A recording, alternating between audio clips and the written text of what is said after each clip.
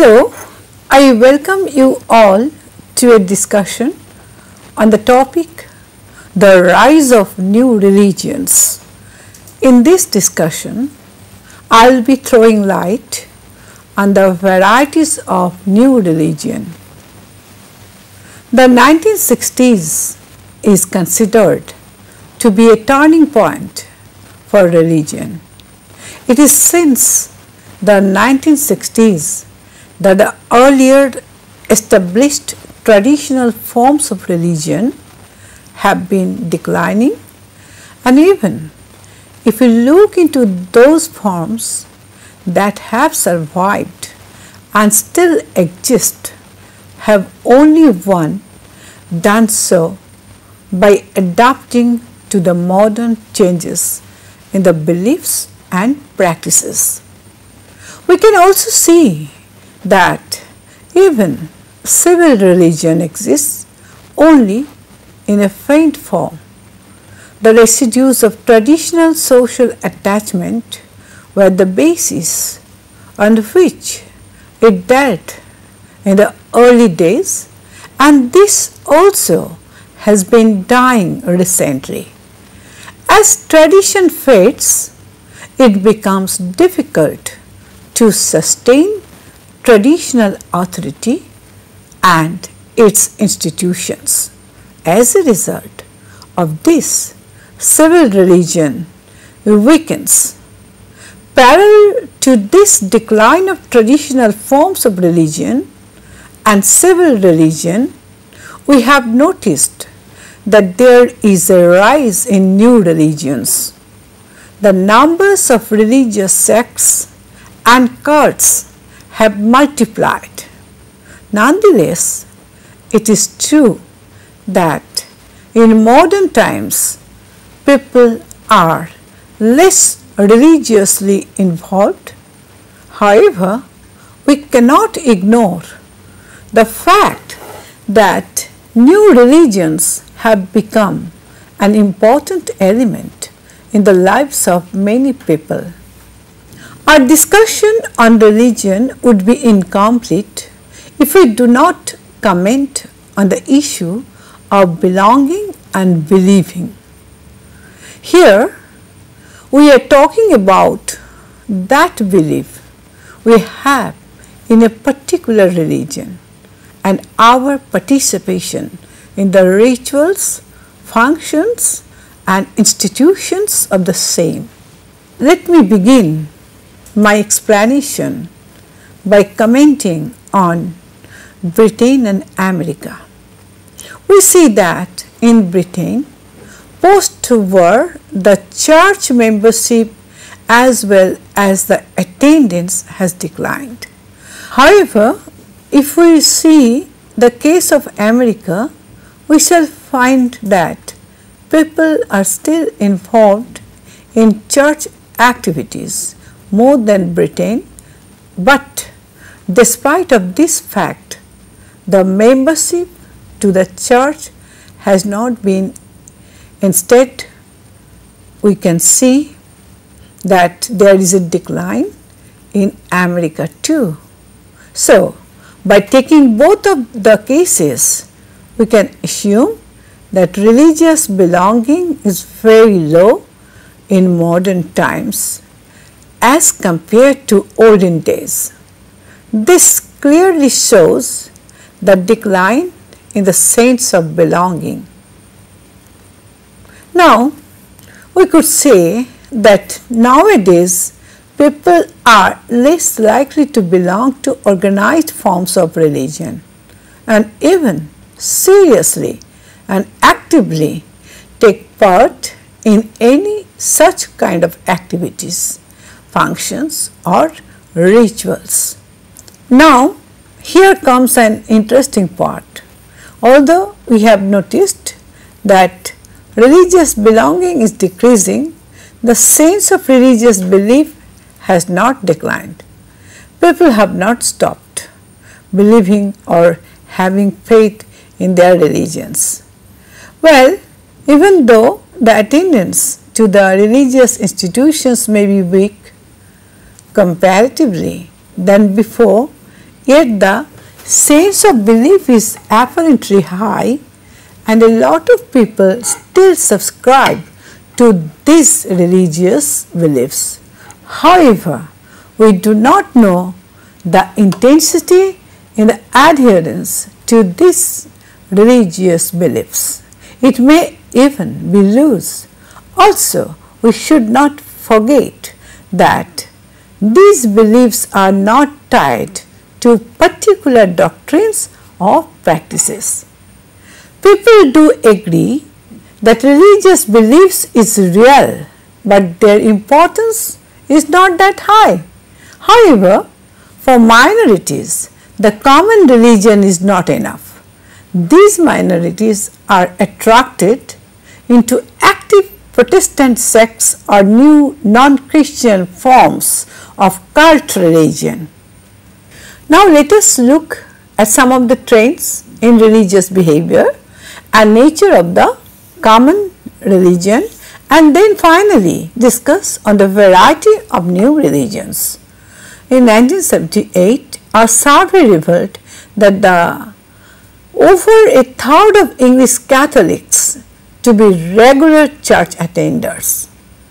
The attendance of the church mostly comprises of older women and non-manual workers as compared to men and manual workers.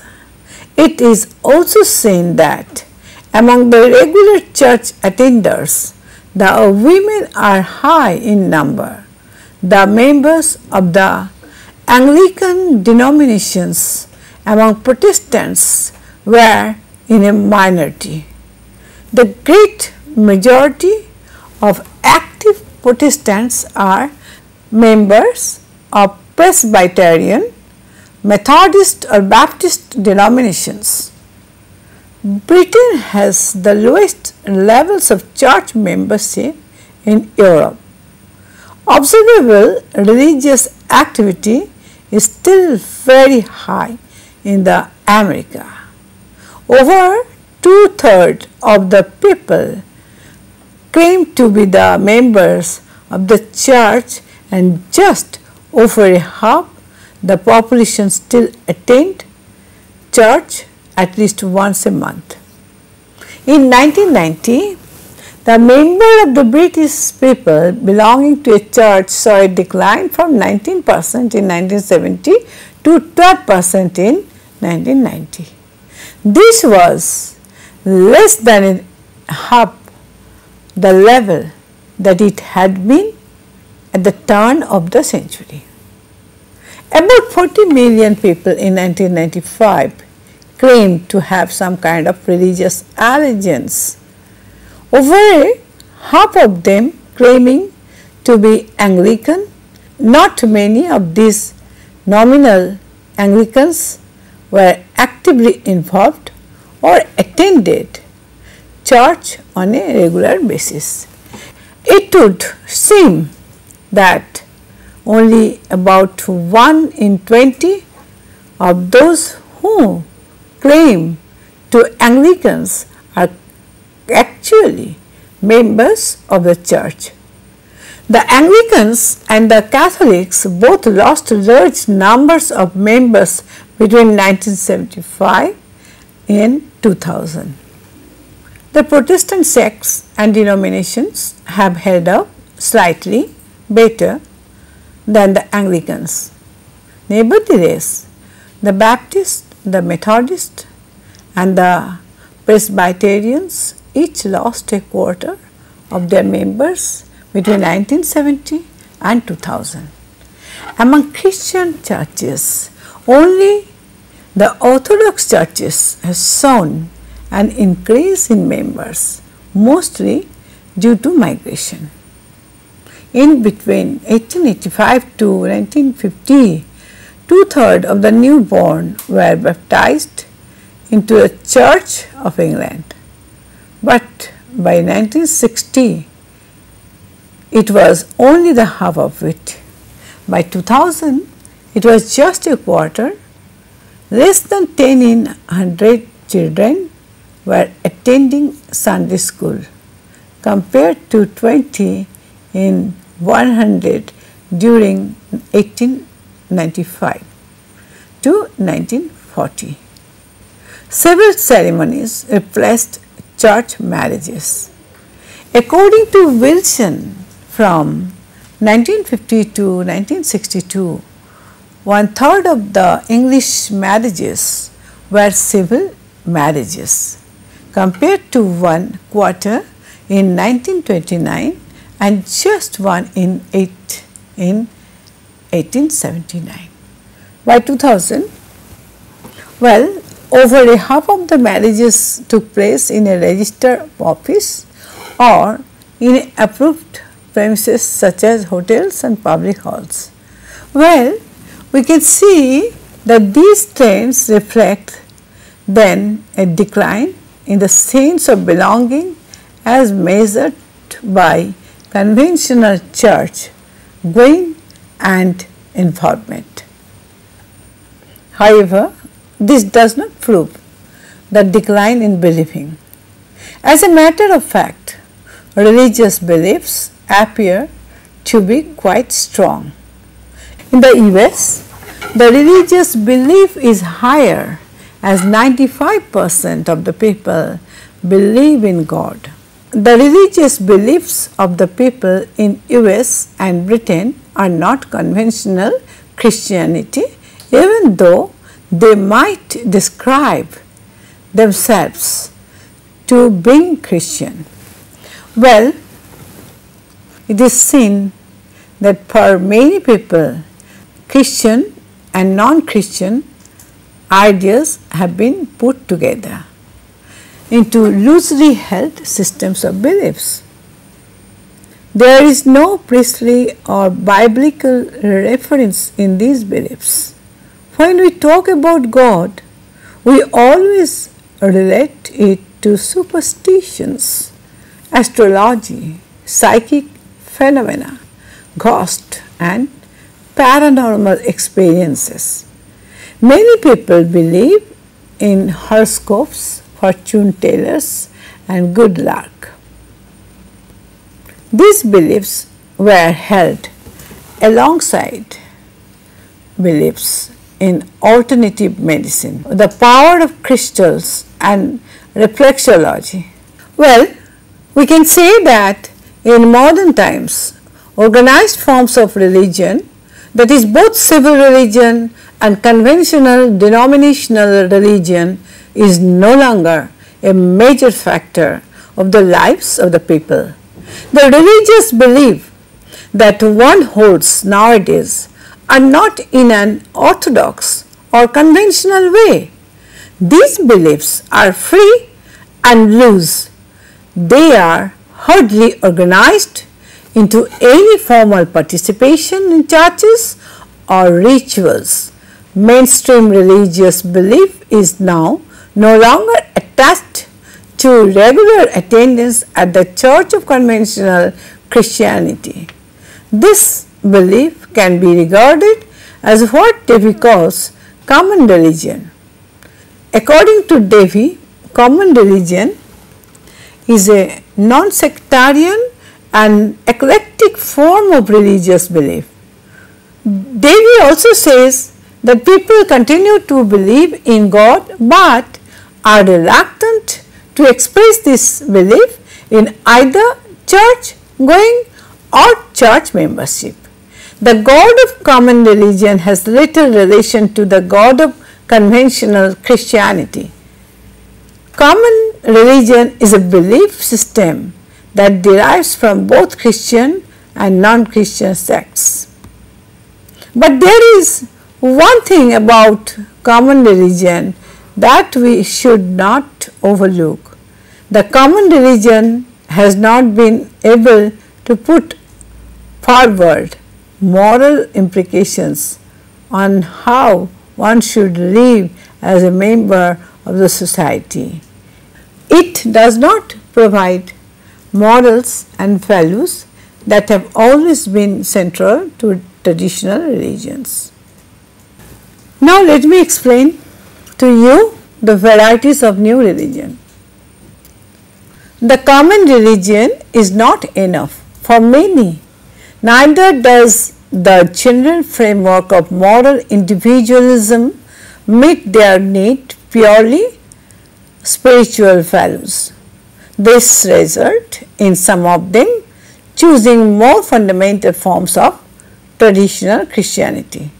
The others have opted for new religions. Since the Second World War, the number of these new religions, both Christian and non-Christian, have increased.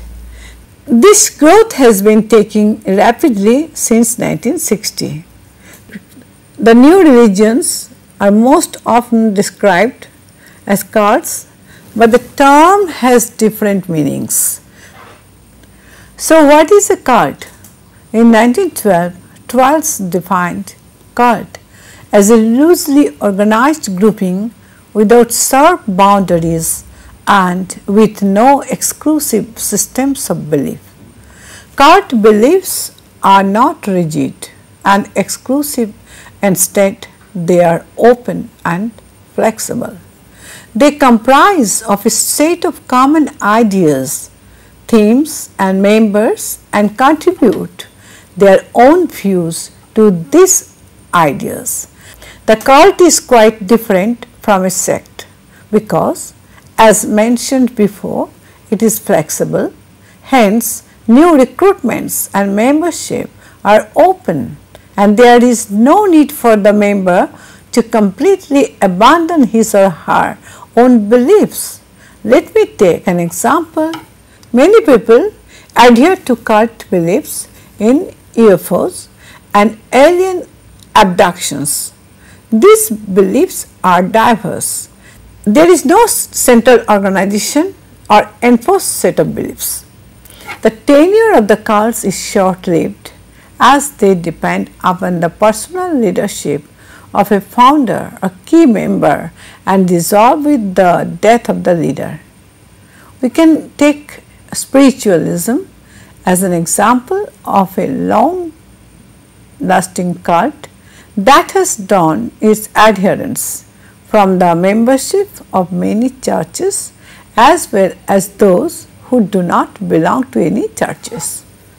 There are sometimes negative meanings given to cults. The term cult is also used in a derogatory sense.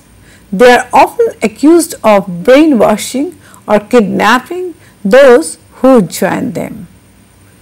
Also, they are accused of political financial and sexual deviant behavior. Well, the actual sociological meaning of cult has been blurred by its modern use as a label for religious deviance. This is the reason why now a more neutral term is used in its place, new religious movement. So, the four main forms of new religion are number 1 inspirational Protestantism, number 2 world rejecting religions, number 3 world affirming religions and number 4 religions of ethnic protest. Let me begin with inspirational Protestantism. This form of new religion is popular with immigrant groups. It comprises a number of fundamentalist, reformed and evangelical sects and denominations that have been split from established denominations or in opposition to them.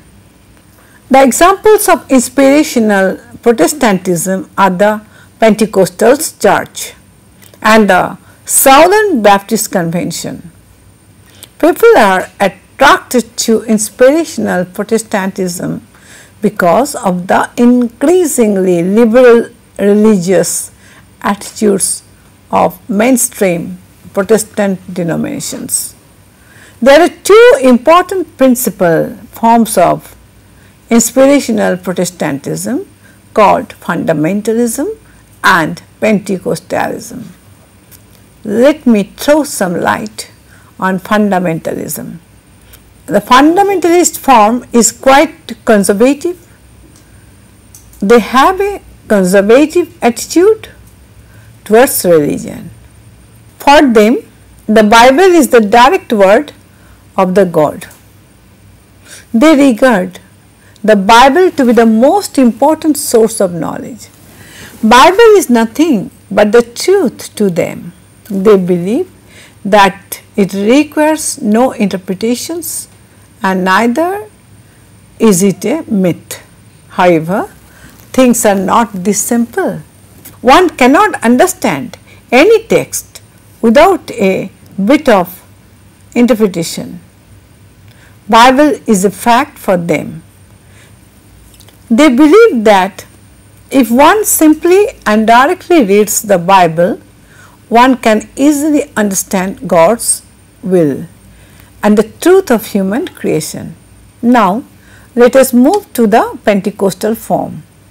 The Pentecostal movement began in 1900 and spread soon to Britain. According to the Bible, we are to believe that the Holy Spirit descended on the disciples on the 50th day after the Passover festival when it gave gifts to the disciples. These gifts that the Holy Spirit gave were prophecy, healing, and speaking in different languages. Pentecostal churches are of the view that these gifts are still available to believers who believe from their heart and soul. The services of these two believers are designed to create conditions for this. These services are loud, joyful singing, prayers and hymns. The Assemblies of God is the principal Pentecostal church in America. Now let us discuss world rejecting and world affirming religions.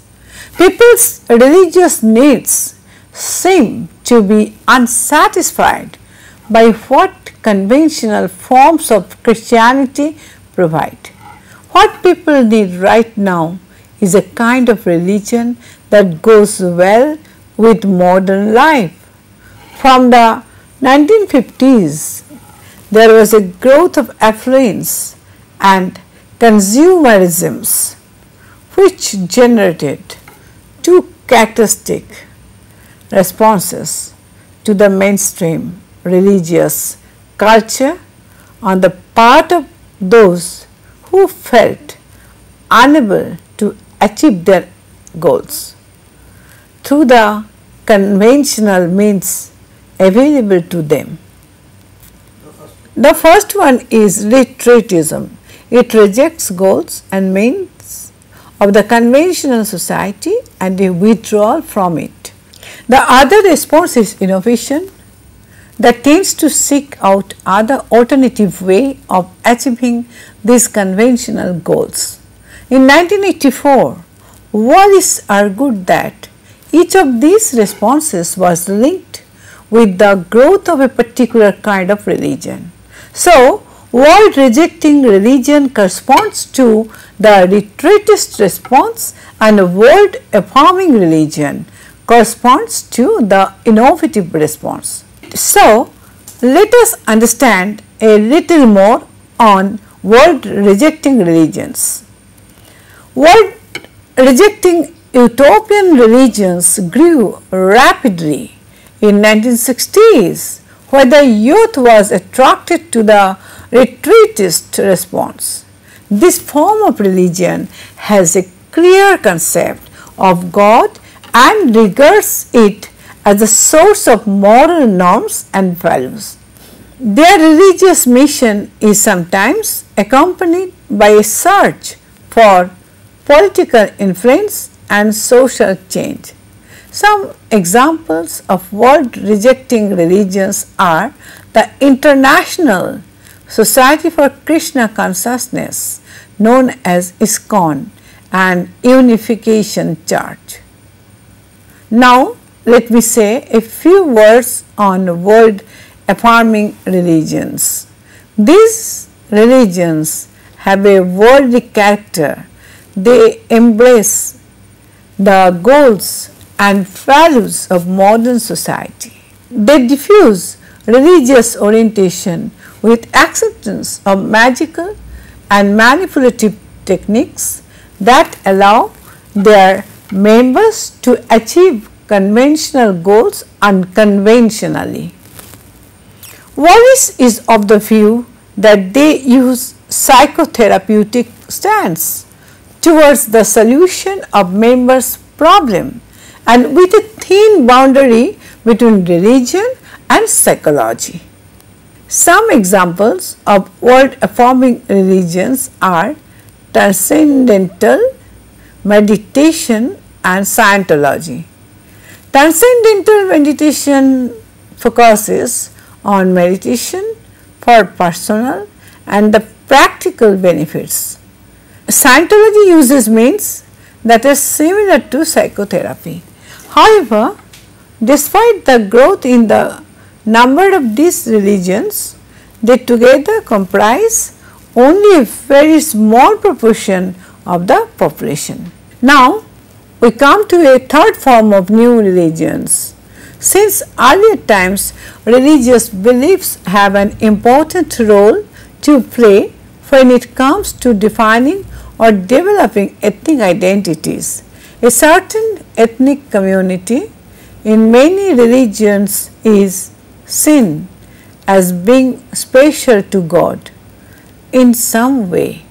For example, Jews texts believe that Jews are the chosen one and Japanese beliefs trace their origin to Amaterasu, the sun goddess.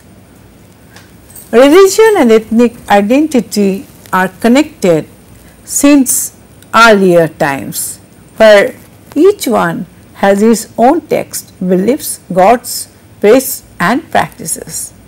Migration led to the increase in religious diversity and resulted in the divisions in each religion. So, what is religion of ethnic protest? Growth in the number of these affiliated to ethnic minority.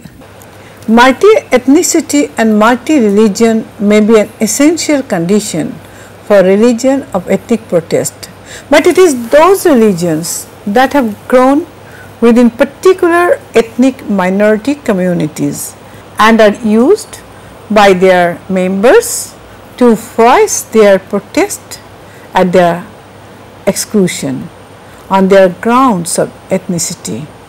From full participation in their society. The two examples of religions of ethnic protest are Rastafarianism and the Nation of Islam both present in contemporary Britain.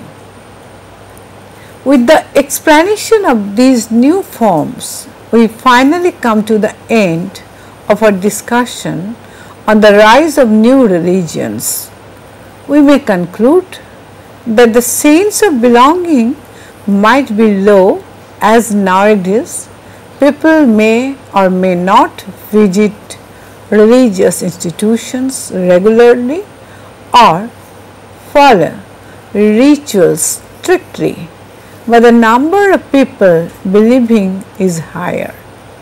The belief in religion has not faded even though the forms might have changed with time. People still believe in their religion or new forms of religion.